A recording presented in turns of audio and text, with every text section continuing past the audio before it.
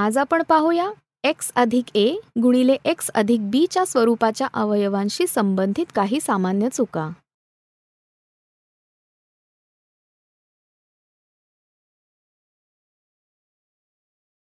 चूक एक.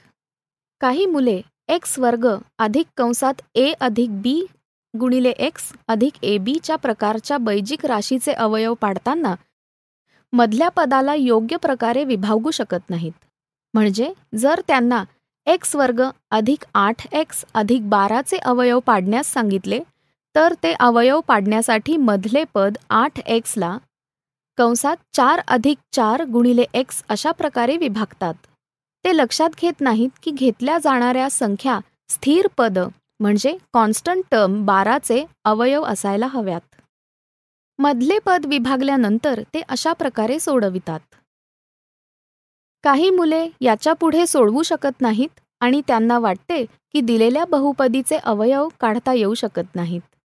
काही मुले विचार करतात की इथे कंसात एक्स अधिक चार सामायिक घेता येईल म्हणून तेही बहुपदी सोप्या रूपात कंसात एक्स अधिक चार गुणिले कंसात एक्स अधिक तीन अशा प्रकारे लिहितात. जे चुकीचे उत्तर आहे. आपण केवळ त्याच संख्येला सामायिक घेऊ शकतो जर ती दोन पदांचे अवयव असेल. लक्षात ठेवा योग्य प्रकारे अवयव पाडण्यासाठी आपल्याला बाराचे असे अवयव घ्यावे लागतील ज्यांची बेरीज आठ असेल. असे अवयव आहेत सहा आणि दोन. म्हणून आपण एक्स वर्ग अधिक आठ एक्स अधिक बाराला एक्स वर्ग अधिक कंसात सहा अधिक दोन गुणिले एक्स अधिक बारा लिहू शकतो.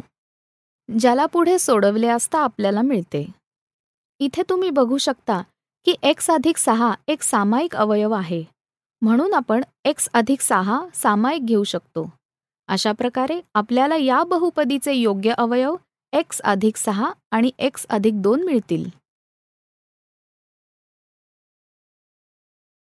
चूक दोन. चलाच्या आधी लिहिलेला स्थिरांक त्याचा सहगुणक म्हणवला जातो. जसे दोन एक्समध्ये एक्सचा सहगुणक दोन आहे नऊ एक्स वर्गमध्ये एक्स वर्गचा सहगुणक नऊ आहे. जर पदावलीमध्ये एखाद्या पदाचा सहगुणक एक असेल तर आपण तो दर्शवत नाही. जसे एक्स वर्ग अधिक एक्स वजा दोनमध्ये एक्स वर्ग आणि एक्स दोन्हीचा सहगुणक एक आहे. काही मुलांना हे माहीत नसते. त्यामुळे बैजिक राशी जसे एक्स वर्ग अधिक एक्स वजा दोनचे अवयव नाही पाडू शकत. लक्षात ठेवा जर एखाद्या पदात सहगुणक दिलेला नसेल तर त्या स्थितीत आपण सहगुणक एक घेतला पाहिजे. त्यामुळे आपण मधले पद धन एक्सचा सहगुणक धन एक घेऊ. अशा प्रकारे आपण वजा दोन बरोबर दोन गुणिले वजा एक लिहू शकतो ज्यामुळे आपल्याला दोन अधिक वजा एक बरोबर एक मिळेल. आता आपण एक्स वर्ग अधिक दोन एक्स वजा एक्स वजा दोन लिहू शकतो ज्यामुळे आपल्याला ह्या बहुपदीचे अवयव प्राप्त होतील. एक्स अधिक दोन गुणिले एक्स वजा एक.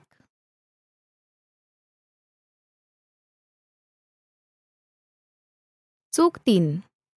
काही मुले हे लक्षात घेत नाहीत की नित्य समीकरण एक्स वर्ग अधिक कंसात ए अधिक बी गुणिले एक्स अधिक ए बी मध्ये एक्स वर्गचा सहगुणक म्हणजे कोएफिशियंट एक आहे. म्हणून आपण ह्या नित्य समीकरणाचा उपयोग फक्त त्याच वेळी करू शकतो जेव्हा एक्स वर्गचा सहगुणक एक आहे.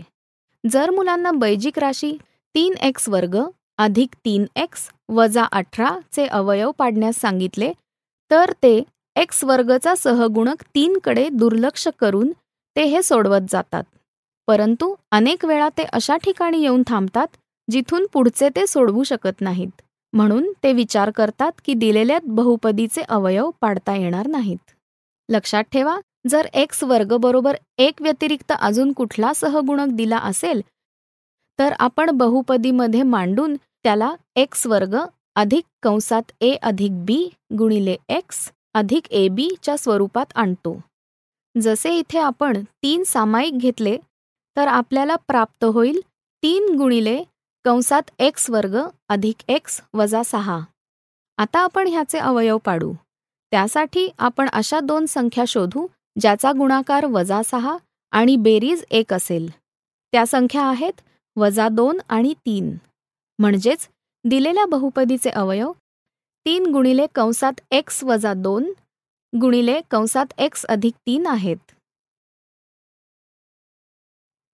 आज आपण पाहिल्या एक्स अधिक ए गुणिले एक्स अधिक बीच्या स्वरूपाच्या अवयवांशी संबंधित काही सामान्य चुका.